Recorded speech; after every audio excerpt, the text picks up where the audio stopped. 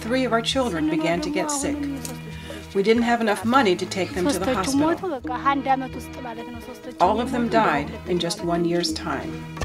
Poverty, I believe, is the fundamental global problem that feeds almost every other global problem. It is the greatest affront to human dignity. Global poverty is unacceptable. But how do we break its hold?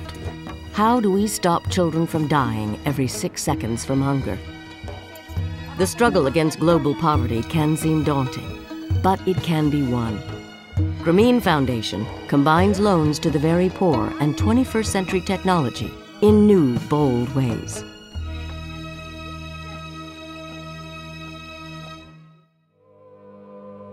More than a billion people struggle to live on less than $1.25 a day.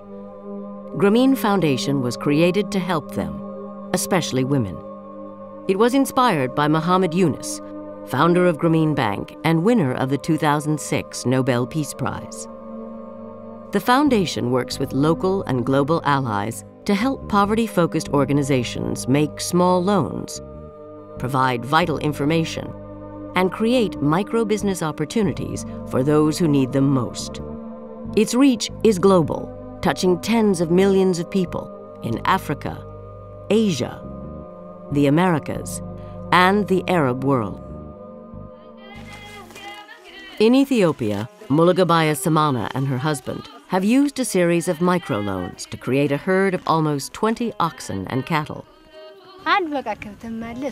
We have a good life now. Our children had nothing to wear, nothing to eat. Now they do. And now we send them to school.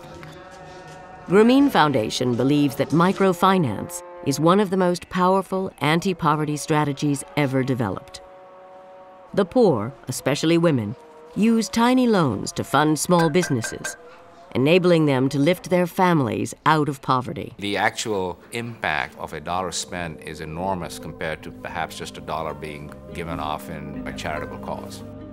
Grameen Foundation is unique in the way it supports the entire microfinance field. It helps microfinance institutions gain access to capital through loan guarantee programs. It helps organizations improve their staff's productivity and ensures that they're reaching the poorest with the right services. And it has created the Progress Out of Poverty Index, or PPI, a powerful tool that enables poverty focused organizations to be sure they're helping the poor. It's revolutionary because it gives us what was missing to have a real double bottom line. In addition, Grameen Foundation leverages the 4 billion mobile phones in the developing world as a way to overcome the devastating effects of information poverty. Using their phones, clients can better manage their crops, their finances, and their health, and even create new business opportunities. Communication is a basic human need, and poor people should have access to the same tools that the rest of us have. Before, the people here didn't have shoes, didn't have sandals. The women would come barefoot. Now everything has changed. What can you do to help win the fight against poverty? How can you make a real difference in the lives of the poorest? There is so much left to do. We've barely scratched the surface in terms of funding microfinance institutions at the grassroots level.